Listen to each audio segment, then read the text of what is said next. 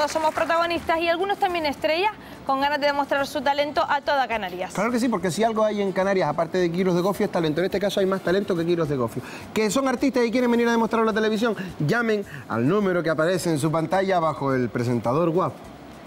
No, no, no, cambien de canal, que es que está hablando de él. Bueno, así cuando cantan deslumbran a sus amigos y bailan con más ritmo que nadie. Si saben bailar la macarena con las orejas, si saben hacer el pino puente con la nariz, si gastan más dinero en las rebajas que Ana Trabadero, si saben hacer alguna cosa de esa, vamos, llamen. Pues sí, y esta noche queremos que conozcan a un grupo excepcional. Algunas son muy tiernitas y todas literalmente son de primera categoría nacional. Tiernas y de primera categoría nacional. Parece que estamos hablando de vacas a las cuales vamos a trocear para hacer filetes de ternera. que no, tonto. Lo que digo es que son jóvenes y además gimnastas de uno de los clubes de gimnasia rítmica más importantes de España, el más laureado de Canarias.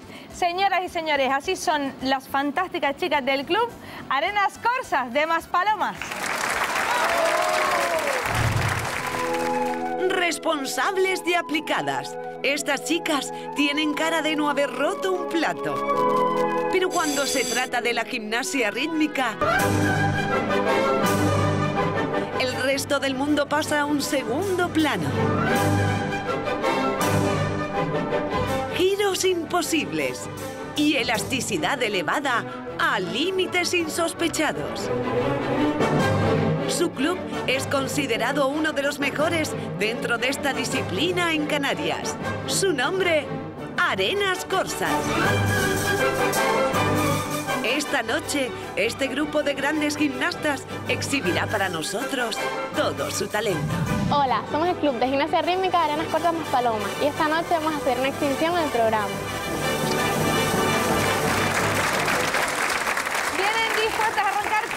aplausos de Canarias, claro que sí. Buenas noches, chicas. Bienvenida. ¿Saben? Yo una vez intenté hacer lo mismo que hacen ustedes. ¿Así? ¿Qué pasó, Dani? Que cuando me vieron vestida así y dando saltos en medio de la carretera, una señora llamó a la Guardia Civil. Bueno, pero puedo volver a intentarlo si quieres, mira. No, no, casi mejor que no, déjalo, Dani. No es necesario. Ariete, cuéntame. ¿Es muy sacrificado hacer lo que ustedes hacen? Bueno, sí, pero es lo que nos gusta hacer. Entonces, pues... Pero entrenan mucho y muy duro. Sí, tres horas todos los días. ¿Todos los días? Pues Tres horas todos los días. Bueno, el resultado de tanto esfuerzo lo vemos ya aquí mismo. Señoras y señores, un aplauso para el Club Arenas Corsas de Majalomas.